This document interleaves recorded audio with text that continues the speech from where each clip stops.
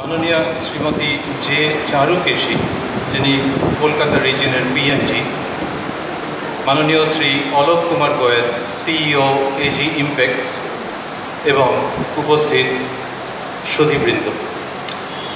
আজকে দুর্গাপুজোর মহাসপ্তমী, তারই মধ্যে যে বাঙালি এবং অবাঙালি মানুষজন এইখানে সমবেত হয়েছে তাদের কাছে নিশ্চয়ই এটা একটা বিশেষ উপলক্ষ। স্বামী বিবেকানন্দের বিখ্যাত শিকাগো লেকচারের একশো পঁচিশ বছর পূর্তি হচ্ছে, সেটা যেমন একটা দিক, তেমনি আবার জিপিওর এই চমৎকার এনক্লোজারটার মধ্যে বসে ঢাকের বাজনা শুনতে পাওয়া যাচ্ছে না, সেটাও আরেকটা দিক। এই দুটো মিলিয়ে আমরা এই অনুষ্ঠানে রয়েছি, এই মহতি অনুষ্ঠানে। এবং আমরা ভাবছি যে দুর্গাপুজো যেমন গ্র্যান্ড মহাসপ্তমী যেমন আমাদের জীবনে অন্য রকমের অর্থ রাখে, তেমনি আমাদের ভাববার দরকার আছে যে কেন কেন্দ্রীয় সরকার বলি, অন্য এজেন্সি বলি নন গভর্নমেন্ট অর্গানাইজেশন বলি, তারা স্বামী বিবেকানন্দের শিকাগো লেকচারের ওয়ান টোয়েন্টি ফাইভ ইয়ার্স পালন করছেন। আজকের দিনে যেটা হচ্ছে সেটা হলো টোয়েন্টি সেভেন্থ সেপ্টেম্বর যেদিন সেই historic Chicago parliament of religions তাতে স্বামী বিবেকানন্দ যে সিরিজ অফ লেকচার্স দিয়েছিলেন। তার শেষটা হয়েছিল এই সাতাশে সেপ্টেম্বর সেই শিকাগো পার্লামেন্ট অফ রিলিজিয়ান্স শেষ হয়েছিল কনক্লুডিং ফাংশন ছিল। কিন্তু তার একশো পঁচিশ বছর পূর্তি আমরা স্মরণ করছি। আবারও ভাবছি যে সপ্তমী, দুর্গাপুজো ঢাক ঢোল মা দুর্গাকে স্মরণ। আপনারা যারা এখানে রয়েছেন, তারা হয়তো জানেন যে মেগা পুজোর আকর্ষণেই হোক, অন্য যে কোনো কারণেই হোক, পুজোর গ্ল্যামার দিন দিন বাড়ছে। এবারের পুজোয় আমাকে কেউ কেউ বললেন, মা দুর্গার সঙ্গে সঙ্গে খুব হাইলাইটে আছে নাকি অসুর? আমি জানি না। কিন্তু বলছেন যে মণ্ডপে কটা অসুর সে নিয়েও নাকি কম্পিটিশন আছে এবং সব মণ্ডপে যে একটাই অসুর আছে তা নয় আরও বেশিও দেখতে পাওয়া যাচ্ছে। তো অসুরের শাস্ত্রীয় ব্যাখ্যা যাই হোক না কেন, অনেক অসুর এবং সেই নিয়ে সেলিব্রেশন এই সব মিলিয়ে বাঙালি জীবন। সেইখানে আমরা শিকাগোকে স্মরণ করছি খুব সংক্ষেপে আজকের দিনে। যে শিকাগো আমাদের জীবনে যে খুব সংক্ষিপ্ত উপস্থিতি তা নয়, বরং খুব প্রমিনেন্ট উপস্থিতি। যে শিকাগোতে স্বামী বিবেকানন্দ প্রথমে যে বক্তৃতা দিয়েছিলেন, তাতে এখানে আমরা যারা রয়েছি, তাদের বোধহয় কেউই কারোরই অজানা নয় যে যখন তিনি বলেছিলেন sisters and brothers of America তখন দু মিনিট ধরে স্ট্যান্ডিং ওভেশন হয়েছিল। প্রসঙ্গত, ইন্টারনেটে এবং অন্যত্র স্বামী বিবেকানন্দের ভয়েস বলে যেটা পাওয়া যায়, সেটা আপনাদের জ্ঞাতার্থে জানাই। হয়তো সকলেই জানেন বা কেউ কেউ জানেন না যে ওটা একটা ফেক ভয়েস স্বামী বিবেকানন্দের সত্যিকারের ভয়েস ওটা নয়। কলকাতা শহরের একজন নামী আবৃত্তিকার। তিনি ইংলিশে খুব চমৎকার রেন্ডারিং করেছিলেন স্বামীজির ওই ওপেনিং স্পিচ সেইটাতে কিছু ছেলে মানুষই কিছু দুষ্টু বুদ্ধি করে নয়েজ ইন্ট্রোডিউস করে ওই অডিওটা তৈরি করা হয়েছে যেটা এখন ইন্টারনেটে প্রায় ভাইরাল বললেও কম হয়। তো সেই ভাইরাসের দ্বারা আমরা একটু আক্রান্ত। বাট অল দ্য সেম ওটা শুনলে ওই যে একটুখানি ডক্টর যে অডিও সেটা শুনলে স্বামী বিবেকানন্দকে মনে পড়ে দিস ফ্যাক্ট রিমেন্স আর মনে পড়ে কি? যে স্বামী বিবেকানন্দ কি অসাধারণ কথা বলেছিলেন, যেই জন্য আজকে আমরা সমবেত হয়েছি। সেই twenty seventh September twenty seven সেপ্টেম্বরের কনক্লুডিং ফাংশানে উনি বলেছিলেন যে তিনটে জিনিস আছে। সেই তিনটে জিনিস হচ্ছে হোলিনেস পিওরিটি এবং চ্যারিটি উনি বলেছিলেন যে holiness purity and charity these are not the exclusive position of any church আমরা জানি যে যদিও পার্লামেন্ট অফ রিলিজিয়ান্স বলা হয়েছিল, কিন্তু ওই গ্র্যান্ড গ্যাদারিংয়ের পেছনে একটা বা নিচে একটা আন্ডার কারেন্ট ছিল।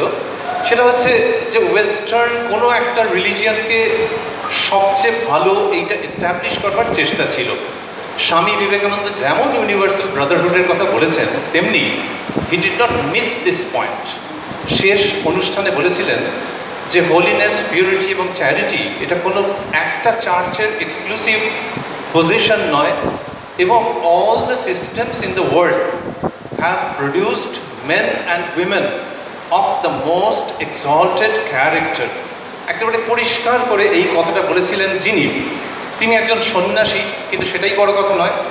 তার বয়স মাত্র তিরিশ, সেটাও বড় কথা নয়। Actually it was the ancient Indian wisdom speaking through this young man সেই সাতাশে সেপ্টেম্বরের স্মরণের মধ্যে আমরা রয়েছি। যার কথাগুলো অনেক ইয়াং ছেলে মেয়ে, আমি তো বড়দের কথা বাদই দিলাম। ইয়াং ছেলে মেয়েরাও they have got it by heart কোনটা?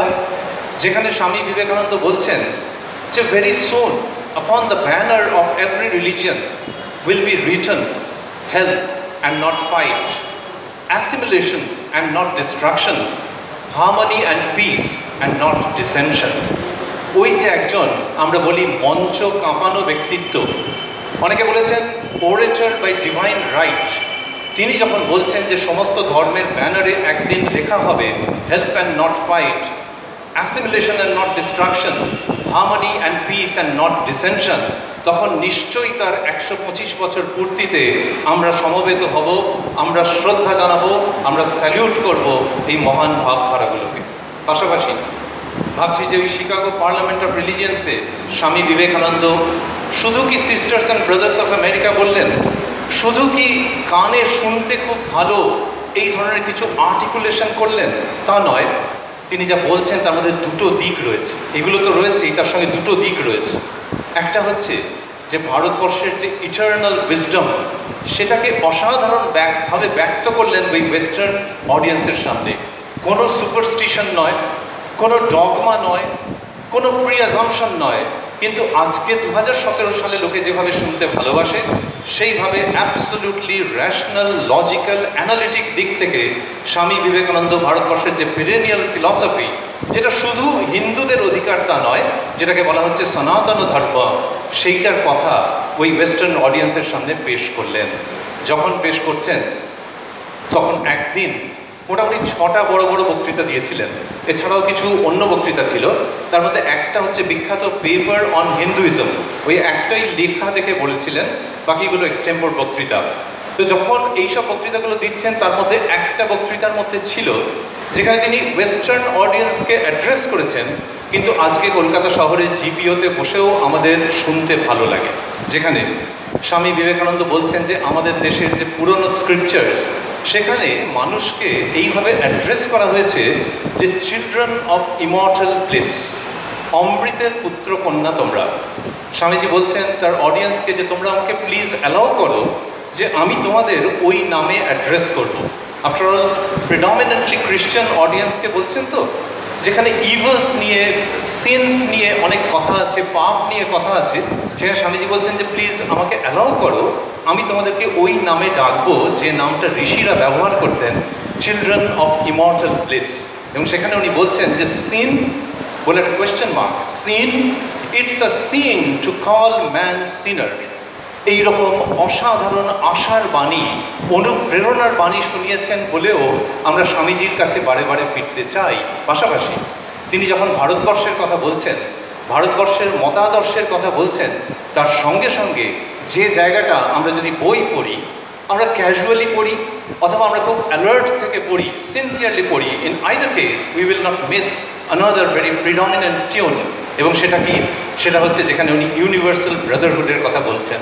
আমরা যখন বলি, অনেক সময় সেটা মনে হয় রেটরিক যে কেউ বলে দিয়েছে উনি ওরকমভাবে বলছেন, সুন্দরভাবে ডেলিভার করছেন। কিন্তু স্বামী বিবেকানন্দ যখন বলছেন, তখন সেটা এত অন্তর থেকে উঠেছে যে আপামর মানুষকে সেটা স্পর্শ করেছে। ওই যে sisters and brothers of America বলেছিলেন, একজন বলছেন, সেদিনকার প্রত্যক্ষদর্শী তিনি বলছেন যে, যদি রেকর্ডস দেখি record documented record of the parliament of religions তাহলে দেখা যাচ্ছে যে স্বামী বিবেকানন্দের আগেও একাধিক মানুষ মোর দ্যান ওয়ান তারা বলেছিলেন সিস্টার্স অ্যান্ড ব্রাদার্স তাহলে এই ফ্রেজটা স্বামী বিবেকানন্দ বললেন, তাতে অত স্ট্যান্ডিং অ্যাপ্লজ হলো কি কারণে? তো যিনি বলছেন, তিনিই ব্যক্ত করছেন যে এইটা হওয়ার কারণ যে যে মানুষটা বলেছেন সামওয়্যার ওর একেবারে ভেতর থেকে এসেছে যে, সামনে যে মেয়ে এবং ছেলেদেরকে দেখতে পাচ্ছেন, তাদেরকে সত্যি সত্যি এই যুবা সন্ন্যাসী সিস্টার্স অ্যান্ড ব্রাদার্স বলে ভেবেছেন, সেই জন্য ওই রকম রেসপন্স ইমিডিয়েটলি ওটা ইভোক করেছে। এইরকম যে স্বামী বিবেকানন্দ বলেছেন, সেই তিনি যখন ইউনিভার্সাল ব্রাদারহুডের কথা বলেছেন, সেটাও মানুষ শুনেছে। স্বামীজি বলছেন যে, যদি আমরা রিলিজিয়নকে ঠিকমতো বুঝে থাকি, যদি আমরা স্পিরিচুয়ালিটিকে ঠিকমতো বুঝে থাকি, তাহলে যে মুহূর্তে বুঝব, সেই মুহূর্তে ডিফারেন্সেসগুলো ডিজলভ করবে। জগতে ভালো লোক থাকবে খারাপ লোক থাকবে, কিন্তু যে অসা খুব অসুস্থ যে এনমিটি আমাদের মধ্যে থাকে সিক এনমিটি এইটা ধীরে ধীরে ডিজলভ করবে যত আমরা রিলিজিয়ান এবং স্পিরিচুয়ালিটিকে ভালো করে বুঝব। আজকের সকালের এই সুন্দর কিন্তু সংক্ষিপ্ত অনুষ্ঠানে আমরা তো ডিটেলে যাব না। কিন্তু বিশেষভাবে স্মরণ করব যে হিন্দু ধর্মের কথা, সনাতন ধর্মের কথা যখন বলছেন, তখন সেটা কোনো মতেই একটা বাউন্ডারির মধ্যে নেই, কারণ এই মানুষটাই with all force with all sincerity with all depth and with all sweetness universal ব্রাদারহুডের কথা বলছেন। যখন স্বামীজি এটা বলছেন, তখন ভারতবর্ষের ইতিহাস যেন নতুন করে তৈরি হয়েছে। এখন ইউনাইটেড নেশনসে আমাদের যে রিপ্রেজেন্টেশন সেটা নিয়ে গত দু তিন দিনে অনেক ধরনের কথা হয়েছে। কিন্তু সত্যি সত্যি ওয়ার্ল্ড ফোরামে ভারতবর্ষের যথার্থ রিপ্রেজেন্টেশনের একটা আইকন যদি ভাবতে চাই, আজকের ছেলে এবং মেয়ে যে লিগাসিটাকে বহন করবে, তাহলে সেই আইকন হচ্ছেন Swami Vivekananda who I feel is a permanent ambassador of India to the world outside সুতরাং স্বামী বিবেকানন্দকে এরকম একটা পার্মানেন্ট অ্যাম্বাসাডারের জায়গায় ভাবতে ভালো লাগছে, যিনি কোনো একটা রিলিজিয়নকে গ্লোরিফাই করবার জন্য সেখানে যাননি।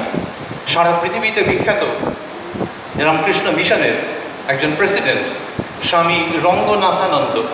তিনি একটা জায়গাতে কমেন্ট করছেন। তিনি বলছেন যে, স্বামী বিবেকানন্দ যখন বক্তৃতা দিলেন, তার আগে আমরা ইন্ডিয়ানরা অন্যদের চোখে কীরকম ছিলাম? ইতিহাসের চোখে কীরকম ছিলাম?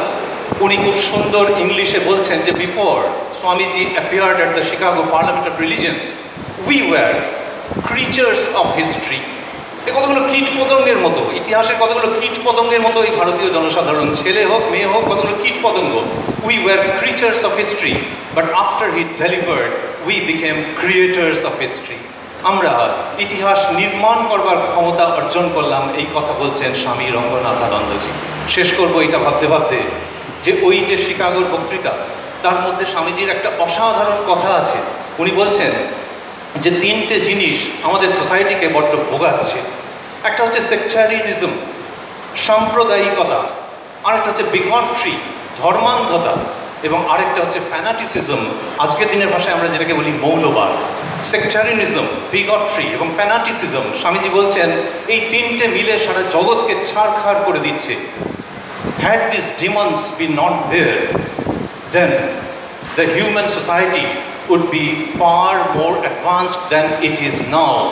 এই ডিমন্সগুলো যদি না থাকতো, তিনটে, সাম্প্রদায়িকতা, ধর্মান্ধতা এবং গোড়ামি, মৌলবাদ, এই তিনটে ডেমন যদি না থাকতো, তাহলে পৃথিবীর যে সভ্যতা, সেটা অনেক বেশি উন্নত হতে পারত সপ্তমীর দিনে আমরা ভাবছি যে মণ্ডপে মণ্ডপে এক বা একাধিক অসুরকে নিয়ে নানান রকমের ভাবনা, চিন্তা হচ্ছে, নানান রকমের থিম হচ্ছে।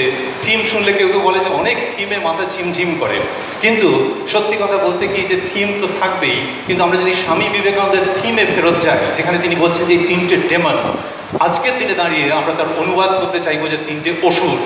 অতএব অসুর নিয়ে ছেলে খেলা করব না আমরা, সত্যি সত্যি রেকগনাইজ করব আইডেন্টিফাই করব, সতর্ক থাকব তিনটে অসুর সম্বন্ধে। যে তিনটে অসুরের অন্য নাম হচ্ছে সাম্প্রদায়িকতা, ধর্মান্ধতা এবং মৌলবাদ। এই তিনটে অসুর স্বামী বিবেকানন্দ যেন ক্ল্যারিয়ন কল দিচ্ছেন যখন তিনি বলছেন থ্রি ডিমন্স সুতরাং আজকে আমাদের সকলের কর্তব্য হচ্ছে এই তিনটে অসুরের বিরুদ্ধে রুখে দাঁড়ানো।